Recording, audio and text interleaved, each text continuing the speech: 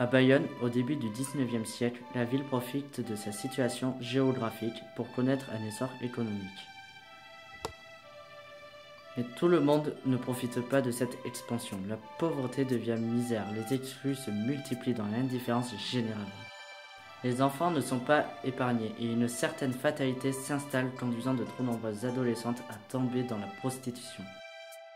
Touché par ces jeunes filles, le père Sestac décide de venir en aide aux orphelines dès leur plus jeune âge.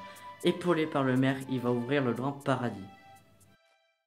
Donc, je m'appelle Marie-Rose Dubroca. Il y a une cinquantaine d'années que je suis rentrée chez les servantes de Marie ce qui signifie que c'est tous les jours que je redis le oui que j'ai dit euh, il y a 50 ans. Et qu'il dit le choisir, c'est vivre comme lui nous le demande.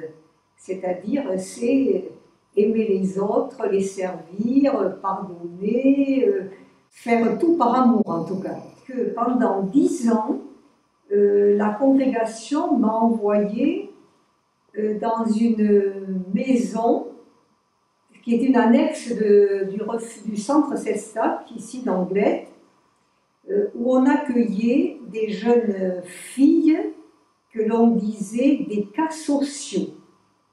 Alors c'était des filles qui venaient, qui étaient confiées par les juges ou par la DAS, et ces filles, c'était des adolescentes qui avaient beaucoup, beaucoup souffert. Et je les ai vraiment beaucoup aimées. Et nous avons fait pendant dix ans un beau chemin ensemble. Que lorsqu'on a fermé l'annexe du refuge, euh, nous avons toutes euh, beaucoup, beaucoup pleuré, mais un chemin, un chemin de vie avait été parcouru. Elles ont tellement, tellement euh, grandi dans leur cœur, je dirais. Elles sont devenues tellement capables d'aimer, alors qu'elles avaient été si mal aimées, que même encore aujourd'hui, ça m'aide à aimer comme Jésus me le demande.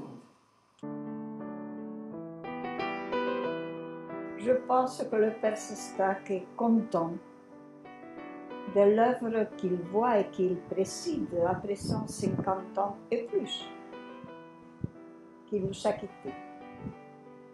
Mais vous pouvez lui demander. Il est présent au milieu de nous.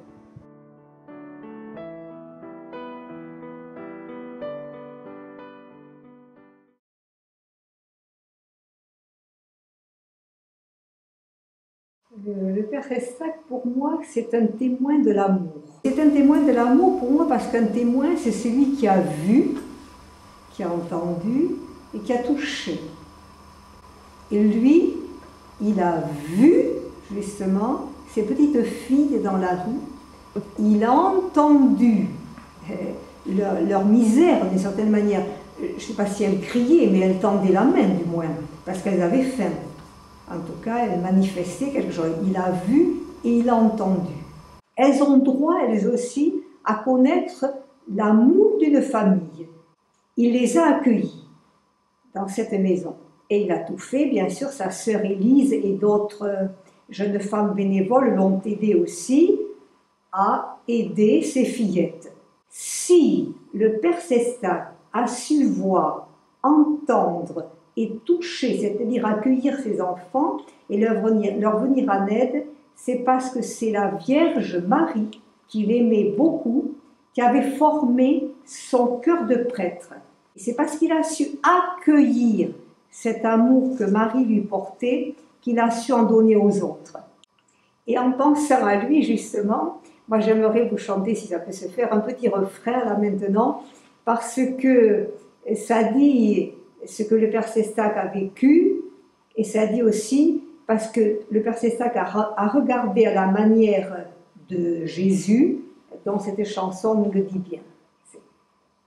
Je te bénis, mon Créateur, pour la merveille que je suis. Tous ces trésors au fond de moi que tu as mis sans faire de bruit.